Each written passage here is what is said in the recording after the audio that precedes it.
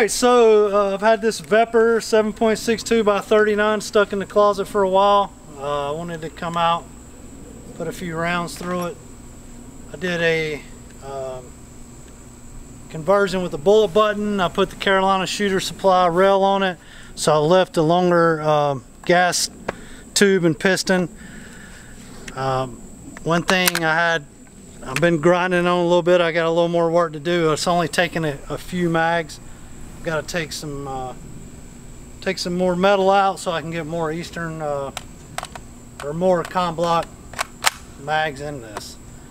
So these are the first shots ever and uh, we'll get it rolling.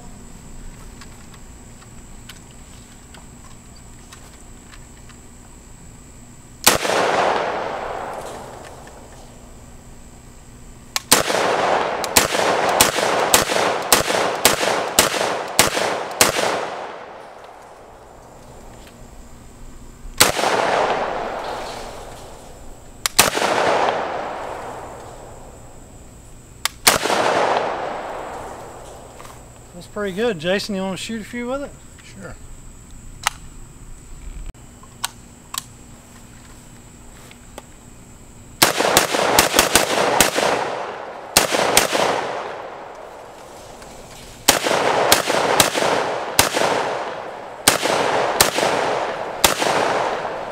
Couple headshots.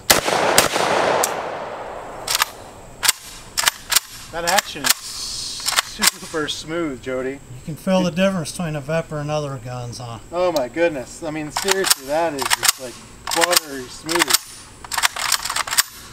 Dang! That's why they cost the big bucks. Yeah, buddy.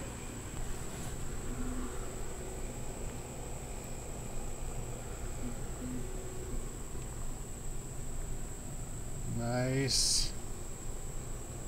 You want to flip it over? Yeah, man. Got some cool markings on it.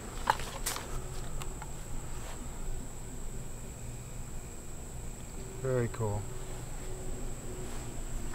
All right, thanks for bringing it out, Jody. That's uh, that's quite the treat right there. I know Yeah, I had to go throw away all my AKs.